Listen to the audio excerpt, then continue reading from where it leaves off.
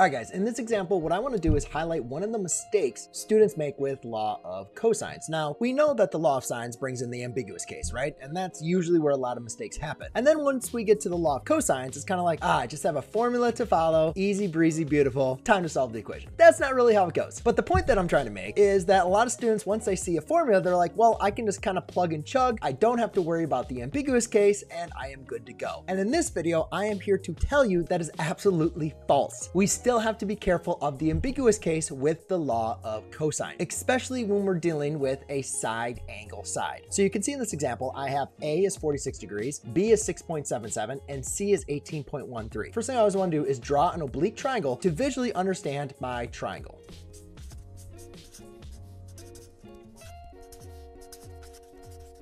So now you can see as I drew the triangle, and again, the shape of the triangle doesn't really matter. The main thing we wanna make sure we have is whatever if my angle A is, then my side length A is going to be the opposing side. And so you can see we have A, B, and C, and we have all the opposing side lengths filled in correctly. So I recognize this to be a side angle side. So for therefore, I know that I can use the law of cosines to go ahead and solve for my A. And yes, given this information, we can just plug and chug into the law of cosines to be able to find the value of A. So here is the law of cosines. Again, the A, B, and C guys are all interchangeable. So it doesn't really matter if you're solving for A or solving for B or C. You can always just rearrange them. But anyways, you can see we have side length C, we have side length B, and we have the angle of A. So what I'm going to do is I'm just going to plug them in and then solve for A. Now I am going to be using my graphing calculator and I will store the image. So I'm only going to round it to the nearest hundredth, but I am going to store the image in my calculator. Okay, so now what I did is I just rounded to the nearest hundredth and I have now stored A. So we have A here, which is going to be a 14.28, which based on this triangle kind of makes sense. Now it's important to think when I did type this into my calculator, we were solving for a, not a squared. So that's why I took the square root on both sides just to get the a by itself. And then basically this follows the order of operations. So I just basically plug this all into my graphing calculator to go ahead and simplify. You can definitely do this one by one. Just be very careful with how you're typing everything in to follow the order of operations. So now that I have side length A, I want you to recognize something. I now have a ratio, right? Which means I can now use the law of sines because again, remember, we have to be able to find these missing angles. So I have to be able to find these missing angles B and C. I only need to find one of them and then I can subtract my two angles from 180 to find the third missing one. So the mistake students usually make in this case is they go ahead and follow the law of sines because typically the law of sines is going to be the quicker, faster, easier method in this case. But if you kind of recognize something, if I wanted to find, let's say angle B next, we already know now what side length A is, right? So technically, forgetting about this B here, technically, if I'm just gonna solve for B, I have a angle side side, which again should bring up the alarm bells of and the ambiguous case. So you have to be very careful because you might have obtuse or an acute angle that you are dealing with. Let's go ahead and apply the law of sines. Let's go ahead and do this and we can see how this is actually going to give us our incorrect answer. Now, a way to avoid that is to simply just use the law of cosines again. And again, remember, we only need to do this one more time. All we need to do is find one more angle and then I can just subtract both my angles from 180. So let's go and do this the correct way, and then I'll show you if you went to a law of sines, how you would have got the answer incorrectly. Now, all I did was really just write this original formula, solve for cosine of A. This is just another rewritten way that we would like to write the law of cosine. But the nice thing about this form is my cosine of A is going to be isolated. Now, in this case, I'm not trying to solve for A. All I'm trying to actually solve for is going to be C. So all I'm going to do is swap out the angles. So now I can go ahead and solve for C. And that's basically all we need to do. If we needed to solve for B, we could do the exact same thing, just again, swapping everything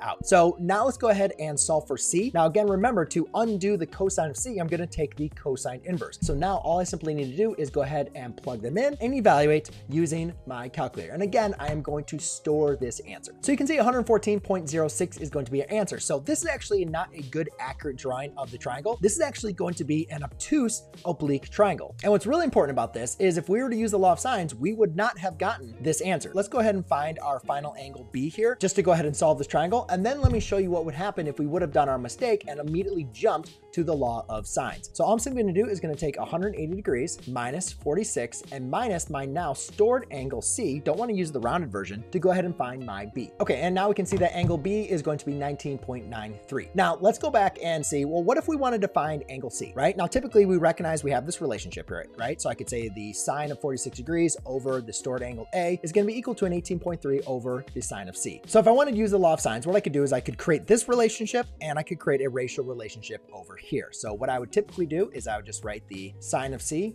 over a 18.13 is equal to a sine of 46 degrees all over, again, remember that stored answer A. So again, typically a lot of students will just jump to this because they're like, well, why do the law of cosines again? Why go through all of this work, right? When I can just use the law of sines, it's much easier. And again, when we recognize this here, we have a sine of C is equal now to a 18.13 times the sine of 46 degrees all over my stored answer A. So therefore I have C is equal to the sine inverse here of going to be a 18.13 times a sine of 46 degrees divided by my stored answer A. Now let's go ahead and plug this into our calculator and see exactly what we get. And therefore we get a 65.93. But notice that is not my angle C that I got over here, right? So which one is correct? Well, this one is correct. So that's why this is a mistake. The law of cosines is going to give you the correct angle every single time. The law of sines on when you have the ambiguous case, we don't know if it's going to be obtuse or if it's going to be acute. That's why we have that ambiguous case. We don't have enough information as that's going to be. So the best thing I can recommend to you, don't make the mistake when you have a side angle side. Go ahead and just use the law of cosines twice and then subtract the two angles from 180 to find your third missing angle. I hope this video was helpful for you. If you want more examples, check out the playlist and resources I have down below or check out the next video I have for you here.